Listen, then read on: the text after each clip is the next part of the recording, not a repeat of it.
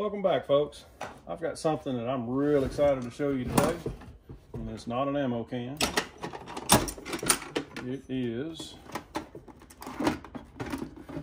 a 300 watt inverter, but not just any inverter. 300 watt pure sine wave inverter. We're gonna put this one on the bench today, test it out, see what a pure sine wave inverter looks like on the scope. And of course, we're going to load test it too. So let me get it all hooked up, set up the camera, and we'll get started.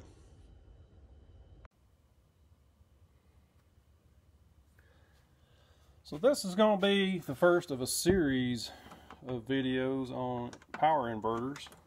I don't know that the series will ever conclude as new inverters come out and I see something I like, I'm going to pick them up.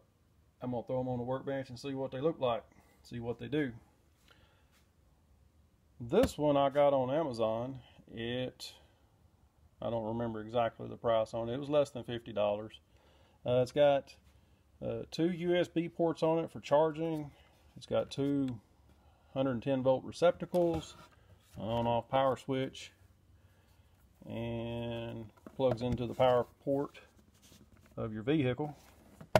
Or in my case, a battery box that I built out of an ammo can.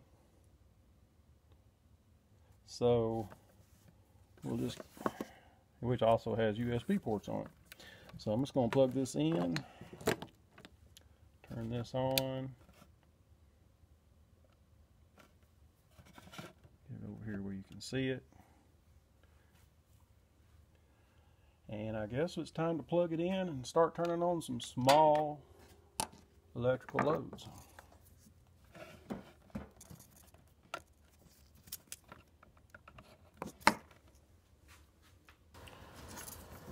All right.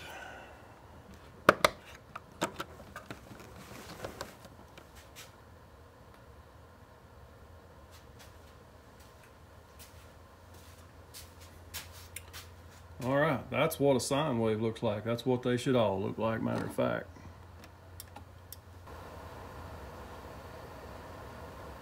There we go. And that's pretty. I like that.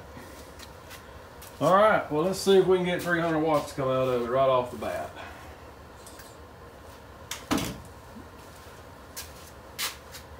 That's supposed to be a 300 watt light bulb.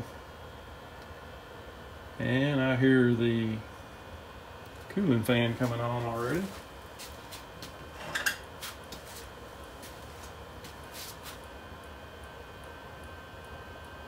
And I'm wondering if my battery's about to give out. All right, so we're at 250 watts. 107 volts. What is going on here? We ought to be getting 300 watts out of that. Let's go look at this.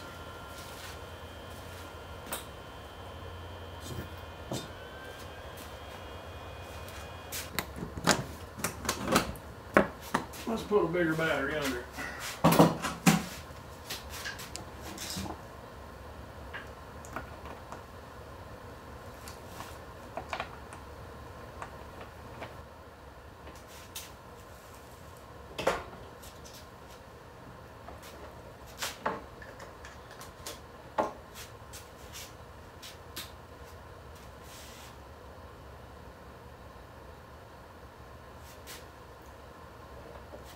All right, so we've got a bigger battery on it again. see if we can get how much we can get out of this one. 260 watts. 306 watts. That's more like it. 110 volts, 109 volts, 304 watts. Now that sine wave is beginning to kind of change shape on it a little bit. I bet it gets, I bet it goes to looking better if we take just a little bit of load off of it.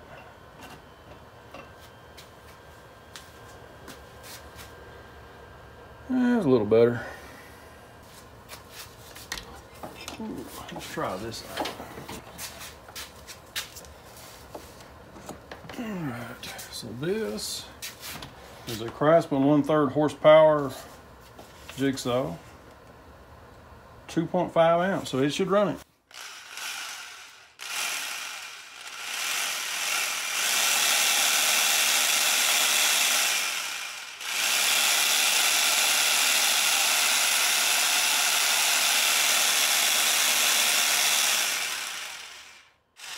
and I'm watching the scope, screen on the scope, those sine waves are jumping around a little bit, which is not ideal. But hey, it's 300 watts, it's pure sine wave. It will run sensitive electronics. I like it. So if you like this video, go ahead and hit the like button and subscribe because there'll be a lot more of these videos on the way with different kind of inverters. Uh, appreciate you watching. Catch you on the next one.